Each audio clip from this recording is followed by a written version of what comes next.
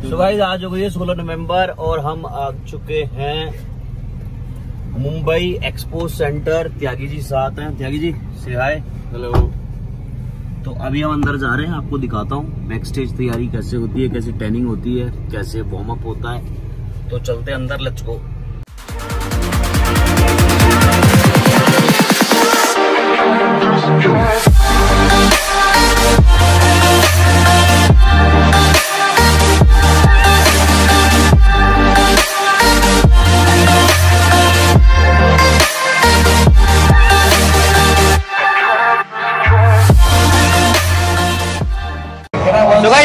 हैं अंदर Olympic stage के पास स्टेज उधर दिखाऊँगा आपको। अभी हम क्या करने वाले ट्रेनिंग ट्रेनिंग जो हर एथलीट के आई होप म्यूज़िक थोड़ा तेज आवाज़ आ रही होगी आपको। ट्रेनिंग करते हैं ताकि स्टेज पे जाने के बाद लाइट पड़े तो बॉडी और ज़्यादा अच्छी दिखे। तो ट्रेनिंग हम कैसे करते हैं? कि ट्रेनिंग क्रीम इसको स्प्रे करना है। बॉडी पर लाइक दिस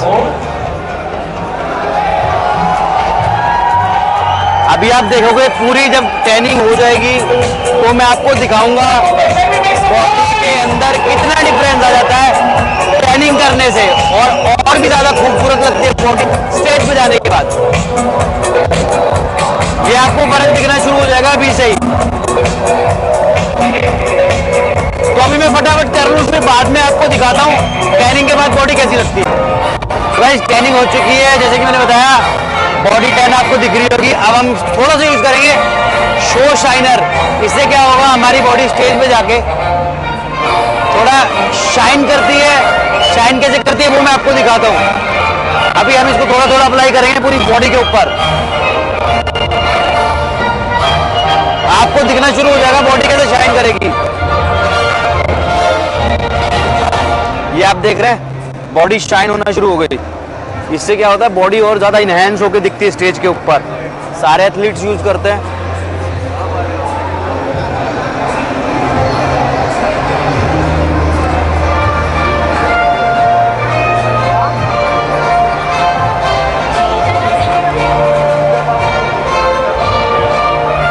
तो देख रहे हैं शाइन अब करेंगे थोड़ा सा वार्म अप क्योंकि जिम तो है नहीं और बॉडी पंप दिखानी है स्टेज के ऊपर। तो थोड़ा सा वार्म अप करेंगे, कैसे करेंगे?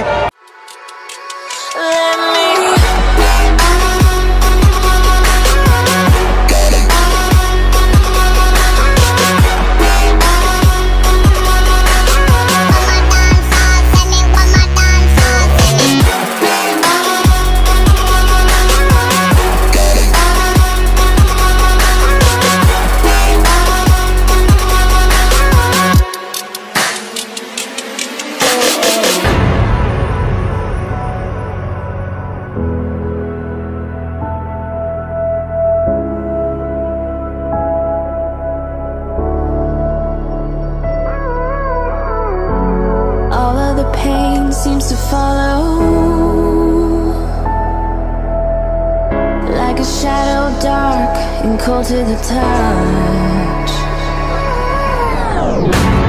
Am I insane not to let go?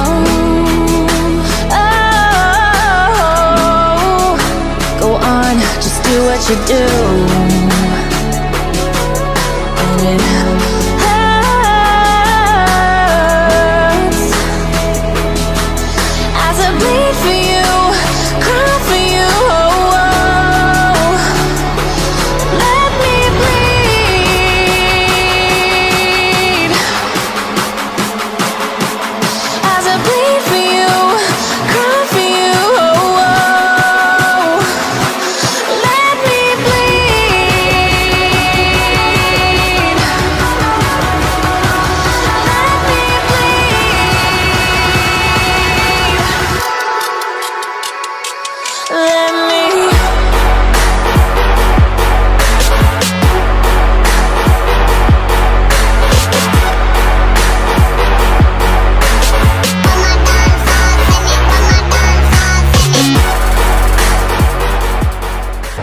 जी राजवीर भाई ना?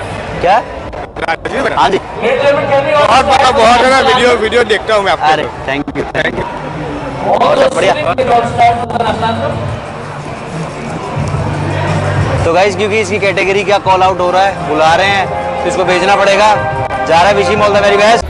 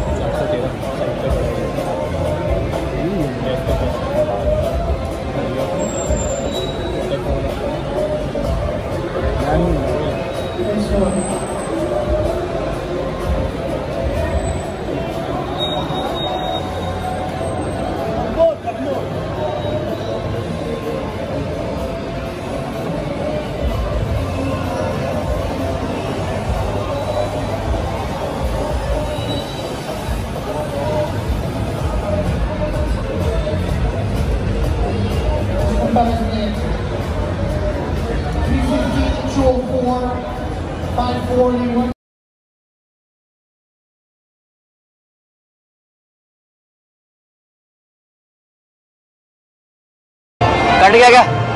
Very well done bro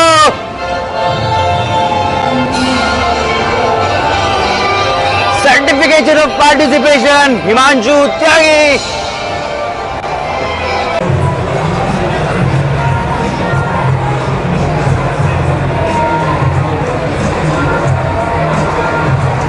guys thank you so much for watching the video और एक्सपीरियंस जो हमारा रहा है, वो बहुत अमेजिंग रहा है। त्यागी जी, कुछ कहना चाहोगे? इतने सारे लोगों ने आपको प्यार दिया लास्ट वीडियो पे।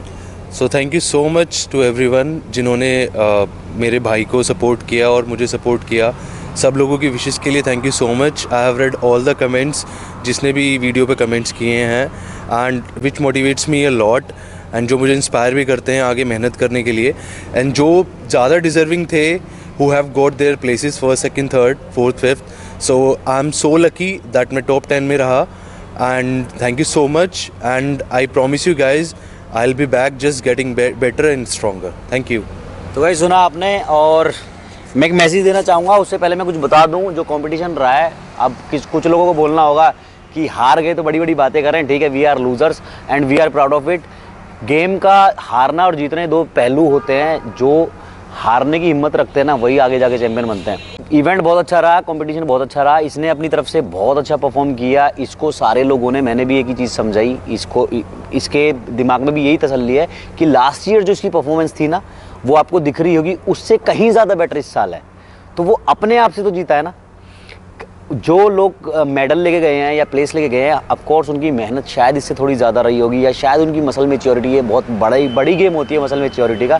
जो लोग 10-12 साल से कंपटीशन खेल रहे हैं, इसका ये दूसरा था। मतलब एक बार लास्ट ईयर इसने कम्पीट किए थे दो तीन कॉम्पिटिशन जिसमें लास्ट टाइम सेवन रैंक आई थी इटली में और अभी टॉप टेन में है तो कोई ग्रजिज नहीं है, कोई गिला शिकवा नहीं है, आपको दिख रहा है, खूब, बहुत खुश है। और जितने भी लोग हारे हैं या जिन लोगों को ये लग रहा है, जो डिमोटिवेट बहुत सारे लोगों को हमने वहाँ देखा डिमोटिवेट होते हुए। तो गाइज़ आपसे भी हाथ जोड़ के रिक्वेस्ट है कि कोई भी डिमोटिवेट ना हो, ये हारना और जीतना, ये दो पार्ट होते हैं गेम के। अब दूसरा मैसेज क्या है? दूसरा मैसेज ये है गाइज़ जिन लोगों को ये, लोगों को ये लगता है कि ये बहुत सस्ती गेम है।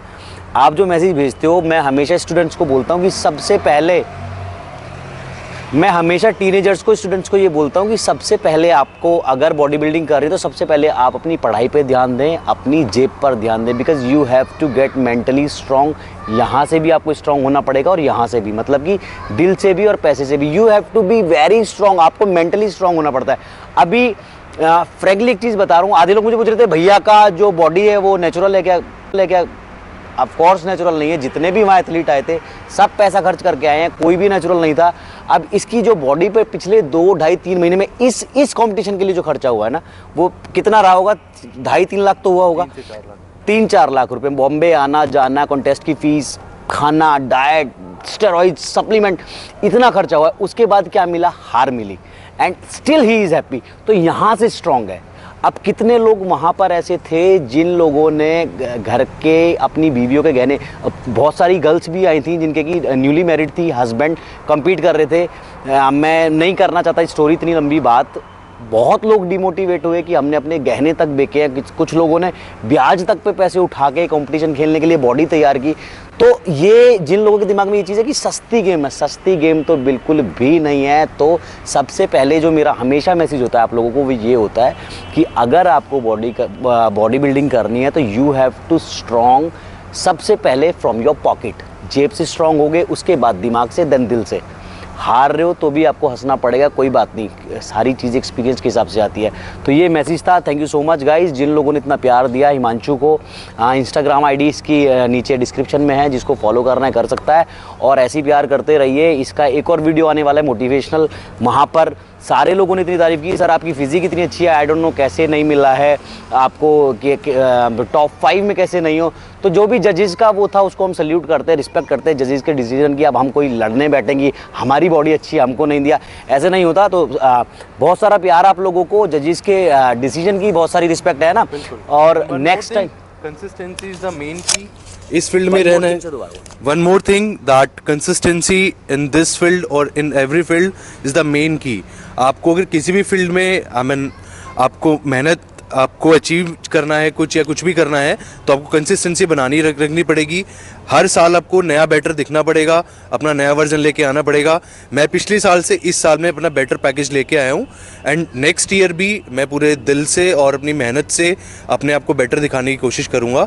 आप लोगों का प्यार और सपोर्ट ऐसे ही रहेगा मेरे भाइयों का प्यार ऐसे रहेगा। तो मैं बिल्कुल नेक्स्ट ईयर बहुत अच्छे से परफॉर्म करूँगा। तो thank you so much guys thank you so much to every जिन्होंने मुझे इतना प्यार और सपोर्ट किया और ऐसे ही आप मेरे भाई को प्यार देते रहिए, सपोर्ट करते रहिए, वीडियो को देखते रहिए, आपको ढेर सारा कंटेंट मिलता रहेगा फिटनेस से रिलेटेड ठीक है? Thank you so much guys बस सो गाइज़ आज के लिए इतना ही मिलेंगे आपको नेक्स्ट वीडियो में. टिल देन मत पड़ो चक्कर में, कोई ना है टक्कर में. बाय